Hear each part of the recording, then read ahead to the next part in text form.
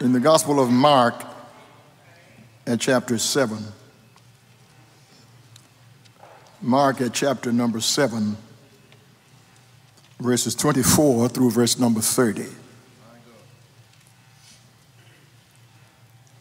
I want to talk this morning about how an impossible request was granted. How an impossible request was granted. From there, he set out and went away to the region of Tyre. He entered a house and did not want anyone to know he was there. Yet, he could not escape notice. But a woman whose little daughter had an unclean spirit immediately heard about him, and she came and bowed down at his feet. Now, the woman was a Gentile of Syrophoenician origin. She begged him to cast the demons out of her daughter. He said to her, Let the children be fed first, for it is not fair to take the children's food and throw it to the dogs. But she answered him, Sir, even the dogs under the table eat the children's crumbs. Then he said to her, For saying that, you may go. The demon has left your daughter. So she went home, found the child lying on the bed, and the demon gone.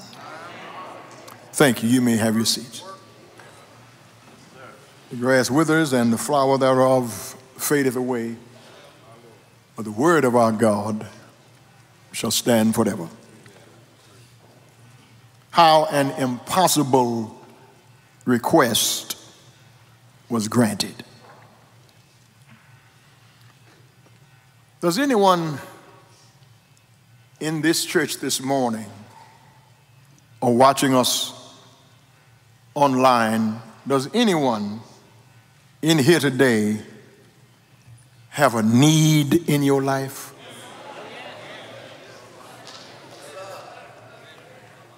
I hazard the hunch that, that most of us have one or more major needs. And some may not see how your needs can be met. Some of us are looking at devastating family problems. Others are having financial difficulty. Maybe there are those here having a problem with your child. Still, others are dealing with a debilitating disease and wondering what lies ahead.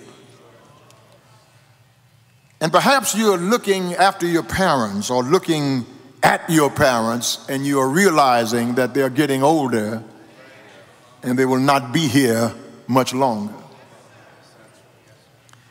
In the midst of your problem, you need some help. You need God to work a work in your life. You don't need Him to lift every burden, just the heaviest ones. He does not need to move every mountain just the highest ones. You don't need a whole loaf, a crumb will do. Jesus and his disciples go to Tyre and Sidon, which is in the heart of Gentile territory. They try to get some rest from the pressures of ministry but we are told in verse 24 in the King James, he could not be hid. Listen to that again. He could not be hid. Wherever Jesus is, he cannot be hid. If Christ is in you, he cannot be hid. If he's in your home, if he's in your family, if, if, if he's in your life, wherever Christ shows up, if he's in you, you can try to hide it. You can try to act like you don't belong to him. You can be in a company of people who are lost and on their way to hell, but if you belong to Christ, there's something in your face that will mark you. And everybody around you will know you ain't got no business in here. You have no business trying to act like one of these people. Stop trying to act like a sinner. Stop trying to act like you're one of these people in the club.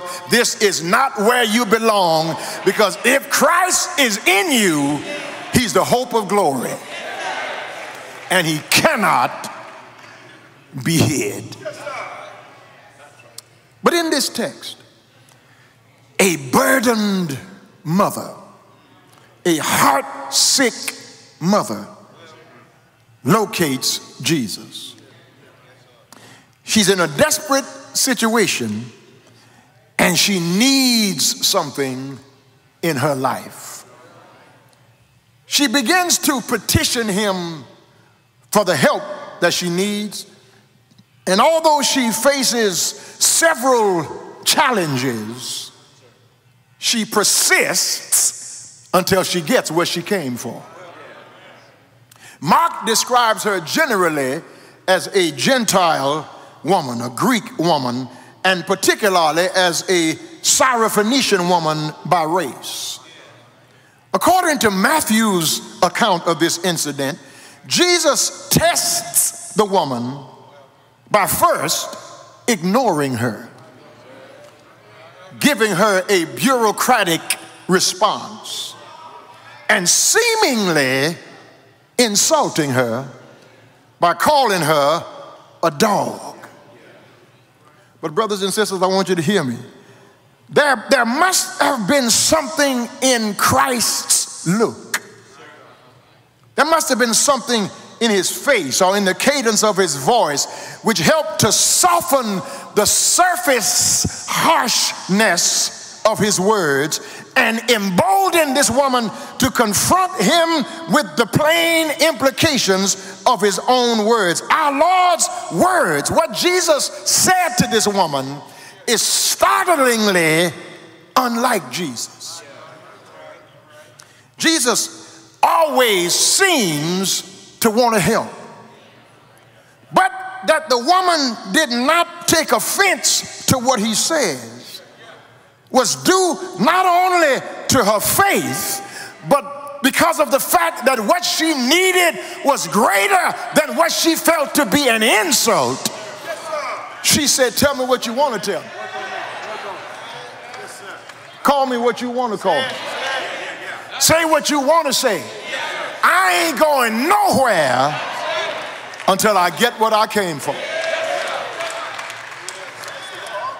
This passion this, this, this narrative, this passionate woman, this passage gives us instruction on how we should approach prayer in our life.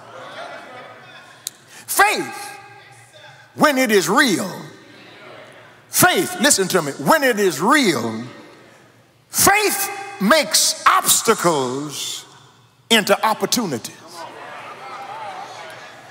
And stones of stumbling into stepping stones to higher things.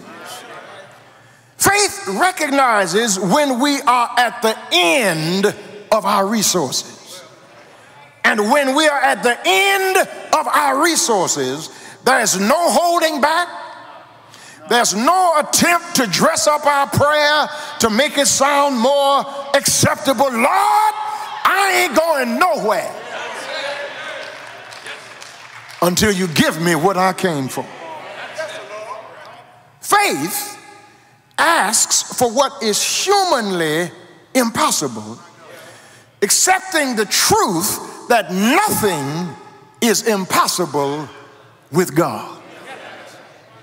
Faith bids us to live in the context of a loving Father who knows our needs, who carries our liabilities with unconditional love and who is at work within us to will and to do of his good pleasure.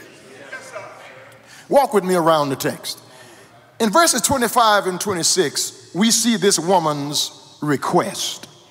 Verse 25 and 26, we see this woman's request.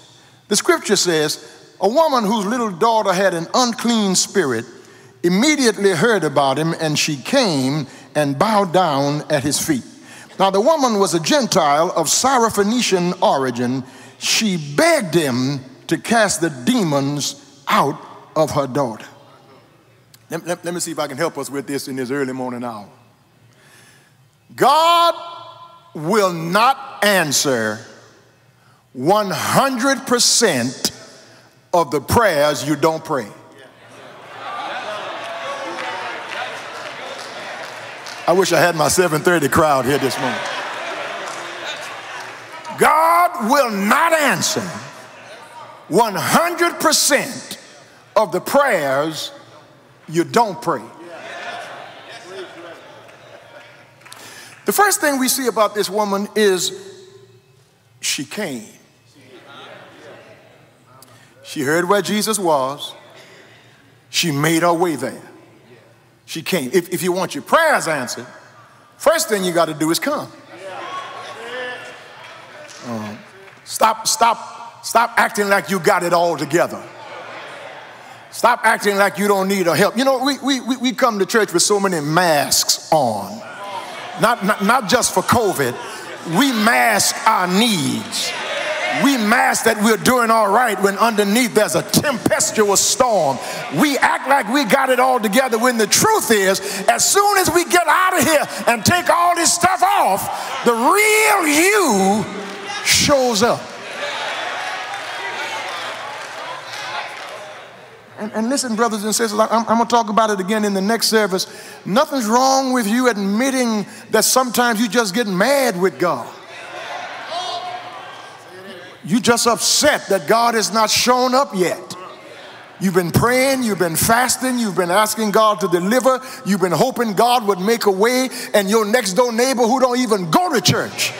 Everything is going well in their life. Your children are acting a fool. Your husband is crazy. Your finances are bad. Everything is going wrong. And you love God. You trust God. But things still don't seem to work out. But I dare you to come.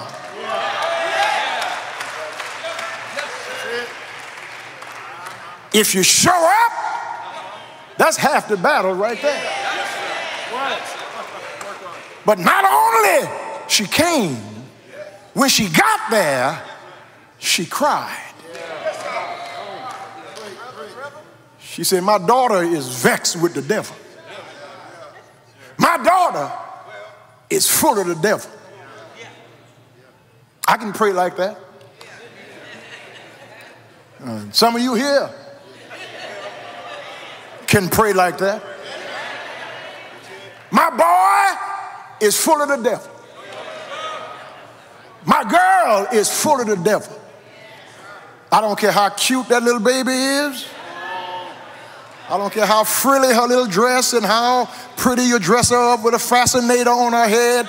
She's a devil. She got it from her mama. He got it from his daddy. I was born in sin. I wish I had a Bible reader. Shaped in iniquity. In sin did my mother conceive me. Every no good thing I know to do, I learned it at home. My daughter, Jesus, is vexed with an unclean spirit. A devil, a demon is troubling her. And listen, don't come to the Lord with, Lord, I need your help. Come to the Lord with what's going on.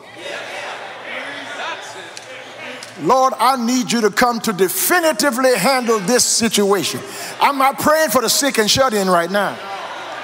I'm not praying for those behind prison bars right now. I'm not praying for the United States. I'm not praying for the president. I'm not praying for the world. Lord, I need you to come in this mess I got in my life. Not my brother. I wish I had a witness. Not my sister.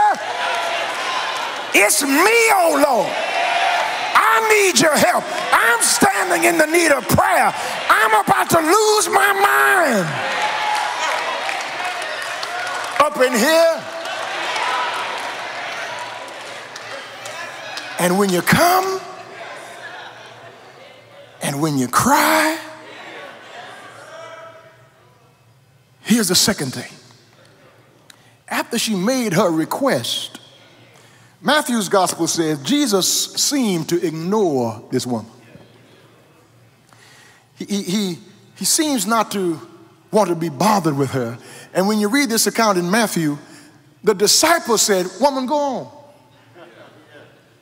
Go ahead now. You, you're a Gentile, you're a Syrophoenician woman, you have no business in this crowd. Go on about your business. But when you need Jesus badly enough, you don't care who's sitting by you, you don't care what they think about you, you don't care what's written about you on Facebook. You're not worried about anybody else's opinions. You're not worrying about anybody's definition or designation of you. As long as I get what I came for. And let me tell you what I came for this morning.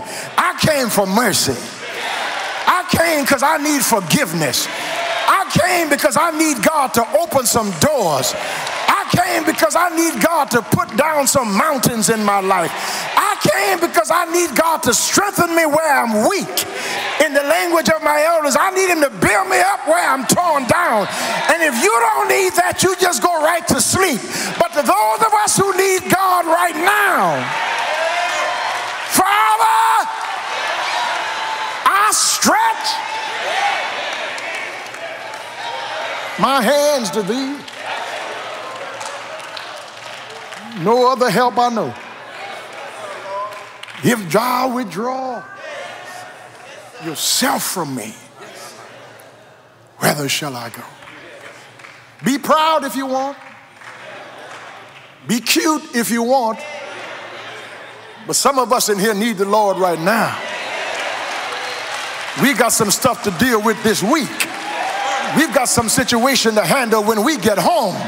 And if the Lord don't help us, if the Lord does not come through, if the Lord does not make a way, we don't know how we. I will lift up my eye unto the hill.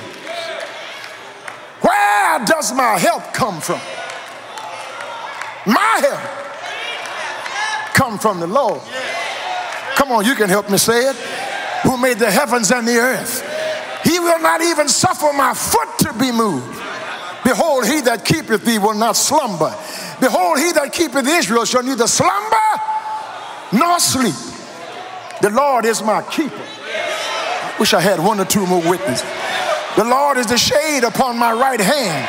The sun shall not smite me by day, nor the moon by night, for the Lord shall preserve me from all evil. He shall preserve my soul. He shall preserve my going out and my coming in from this time forth and even for when I wake up in the morning, he's there. When I go to bed at night, he's there. Uh, I, I, I, wasn't I wasn't looking for this confirmation, but, but I got it this morning. Brother, Brother Wellington Armelin, who, who handles the cameras and sound and everything here at the church. Brother Wellington Armelin came to my, to my study before I went out for consecration with the deacons. And he said, Pastor, I want to talk to you. I, we can talk later if you don't have time right now. I said, No, uh, lay it on me. He said, Yesterday, you were at the Chevron station across the street on, on Old Spanish Trail. And he said, I was across the street at the Exxon station. And he said, I was, I was watching you because you were putting gas in your car and leaning against the car, not paying attention. He said, There was a man behind you with a hoodie on taking pictures of you. He said, I had my eyes on him and I was ready to dart across the street. He said, You went into the building to pay for the gas, perhaps. And he said, uh, He went in the same time you went in. And he said, When you came out, you got in your car and left, and I knew everything was all right. But he said, I want you to just be careful of your surroundings. And I thought about that coming in here to preach this morning. All night?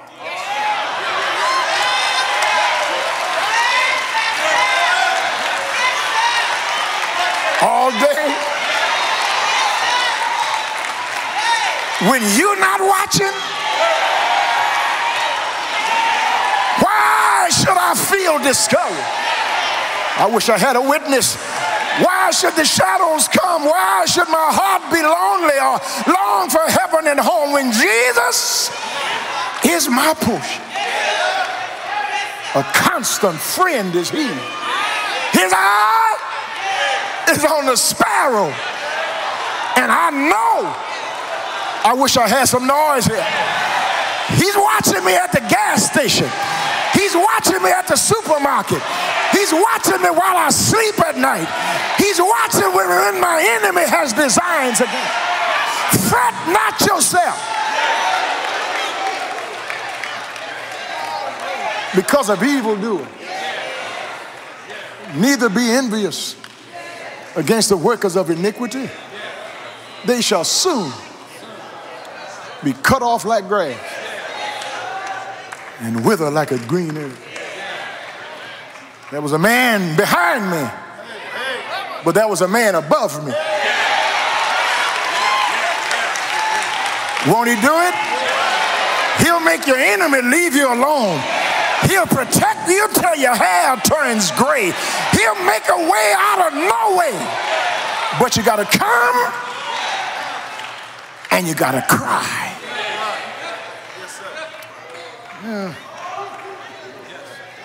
But now, as we move from her request, I want you to, as I hurry, I want you to see her resolve. The woman had to overcome some resistance to her request to secure her daughter's healing. Yet, she persisted till she got where she came from. She had to overcome the obstacle of race.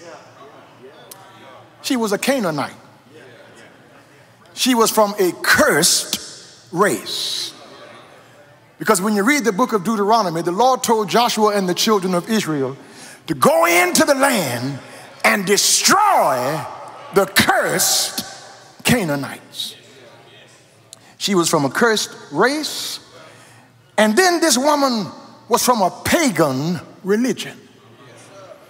She had to overcome race. But not only did she have to overcome race, she had to overcome the religion that she came from a Gentile woman crying out to a Jewish Messiah. A Gentile woman, a pagan woman crying out to a Jewish Messiah. But then, after overcoming race and religion, she had to overcome what was seemingly Jesus' rejection.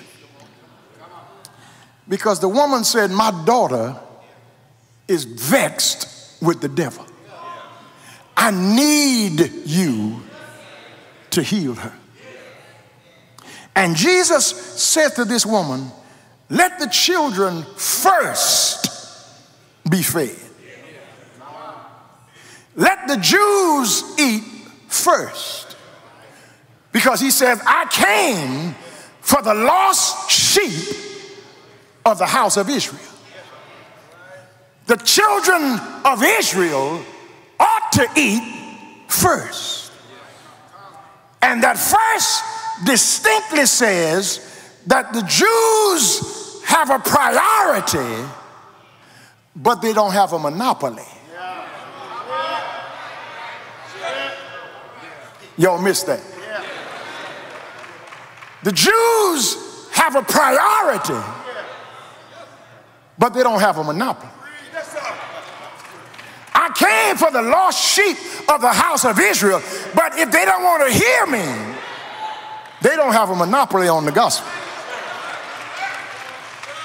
And, and, and brothers and sisters, I want to get this over to us. I'm going I'm to teach you about it here later on in a, in a couple of weeks. But the Jews in Israel who are misusing the people of Gaza are not the Jews of the scripture. And the United States and other governments around the world are complicit in this genocide that's going on in Palestine, thinking that we have to stand with the Jews even when they're wrong. They have a priority, but they don't have a monopoly.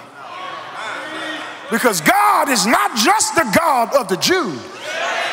Because if that were the case, I would be lost this morning. Somebody ought to help me talk here. God is a God of every, whosoever wills, let him come and drink from the fountain of life freely. But now here, here, here, here, here's the point I'm trying to make. He says the Jews, the children, ought to eat their bread first. But in scripture, there is what I want to call a dynamic symmetry. If there is a first, then by necessity, there has to be a second. If there is an up, there has to be a down. If there's a right, there has to be a wrong. If there's a good, there has to be an evil. So the woman is saying, I don't care nothing about them eating first. You got some seconds? Yeah. Let me, let me, let me, let me, let me talk to somebody here who can cook.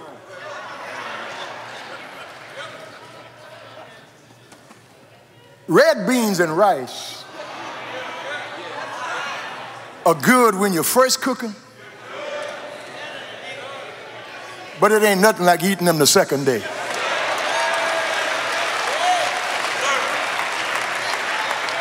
Mm. Gumbo is good when you're first cooking. But when the seasoning settles in overnight and you take it out of the refrigerator and put it on a slow simmer and then it starts bubbling up at the top, it's better the second day. I don't care who gets served first, just give me some seconds I don't need a whole loaf of bread. Just let some crumbs fall from the table. Lord, you don't have to move the mountain. Just give me strength to climb it. Uh, this, this woman says, I know. She said, Yes, Lord. Let the children eat their bread first. But don't some crumbs fall from the table? I want you to understand this. When Jesus says it's not meet to give the children's bread to dogs, Jesus is not being as harsh as his Jewish counterparts. Because the Pharisees and the scribes and the Jewish people called Gentiles dogs, mangy curs, mongrels, filthy dogs. A Jewish person would not let their garments be soiled with dust in Gentile regions. When they walked through Tyre and Sidon, they picked up their skirts so as not to get dust from Gentile ground on their clothes. When Jesus told that story about the certain Samaritan, if that Jews, if that Jew that was helped by that Samaritan had been conscious, he never would have let that Samaritan help him. Because the Jews and the Samaritans have no dealing. When Jesus was at the well. He asked that woman for a drink. That woman said, How can you be asking me of a drink when I am a woman of Samaria? You know the Jews and the Samaritans have no dealing. You know Jews and Gentiles don't get along. The problem stems from Cain and Abel, Jacob and Esau, Ishmael and Isaac the Arabs and the Palestinians, the Jews and the Muslims, those problems started with Abraham lying when he went to Egypt. And they continue unto this day from a dysfunctional family situation. And this woman, this this Gentile woman, Jesus said, it's not meet for me to give the children's bread to dogs. He was not calling her a mangy, filthy dog. That's not, that's not the interpretation of this text. Jesus is saying it's not meet to give the children's bread to little puppies under the table. It's not right for the children's bread to come to little puppies under the table first. The woman says, I know. You ain't telling me nothing I don't know. But don't some crumbs fall from the table? Anybody in here got, got a dog or had a dog? Or you, you got a little dog with you? You just gave him his puppy child? You just gave him his milk bone dog treat? He's had his water, he's peed, he's done everything he needs to do. And then you get ready to sit down to your meal. And he sits right there, licking his chops, waiting for some crumbs. Somebody ought to help me talking. That woman said, Lord, I'm going to stand right here because I know it's some bread on that table. And sooner or later, some crumbs are going to fall from that table. And that's why I come to church every Sunday morning. That's why I give God glory. That's why I raise my hands in the sanctuary. Because sooner or later, some crumbs going to fall from that table.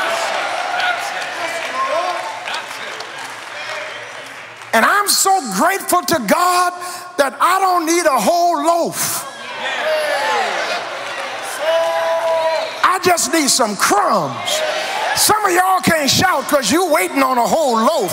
But some of us here just glad to be in the service one more time.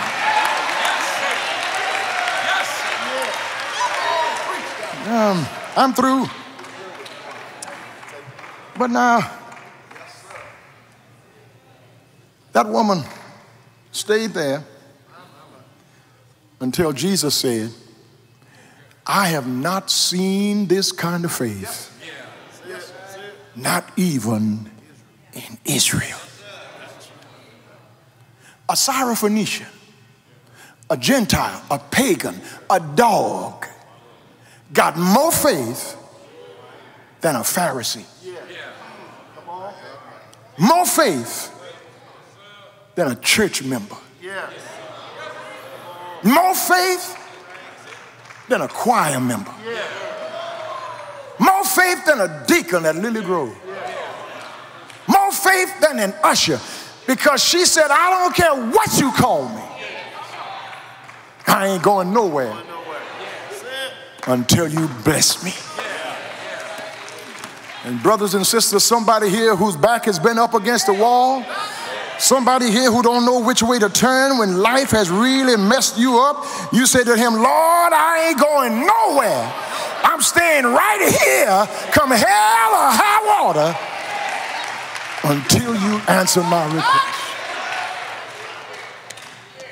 Jesus was amazed by her faith. Her reward was she stayed right there. And, brothers and sisters, listen to me. Jesus may give you this morning what you've been hoping for 27 years. Can I give you an acronym for the word hope? Hope, H O P E. Hold on pain ends.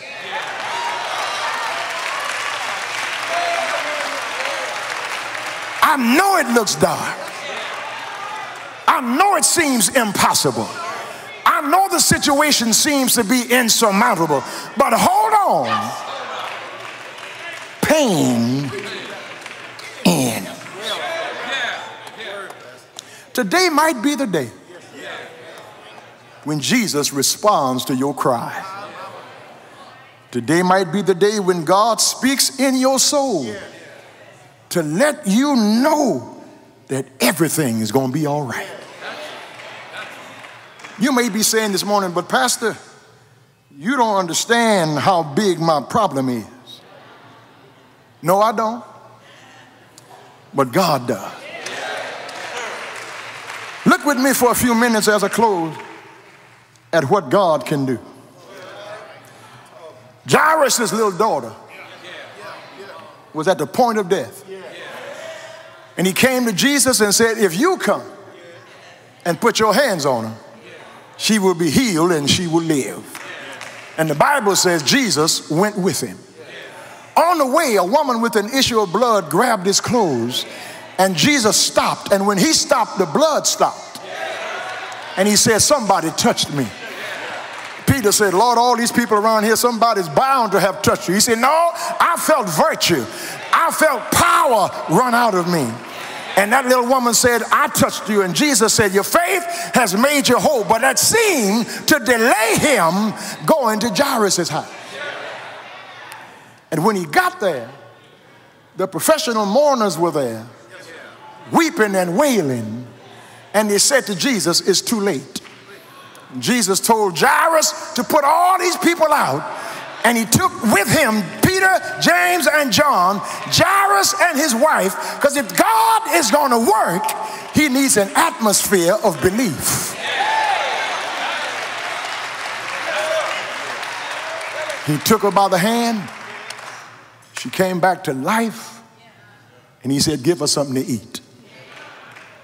Lazarus had been dead four days. And Mary and Martha said, If you had to come when we called you, my brother would still be alive. Jesus said, You're going to see your brother again. Martha said, I know I'm going to see him in the resurrection. Jesus said, I am the resurrection and the life. He that believes in me, though he be dead, yet shall he live. And he that lives and believes in me shall never die. Do you believe this? The multitude were out there with no food. There was a little boy with two fish and five loaves. Jesus lifted it up to his father and gave it to his disciples and fed 5,000 men, not counting women and children. God can do anything. The disciples are in a storm. And they say, Master, don't you care that we're about to perish? Jesus wipes sleep from his eyes, gets on board that ship, and says, Peace, be still. And they say, What manner of man is this? That even the wind and the sea obey him.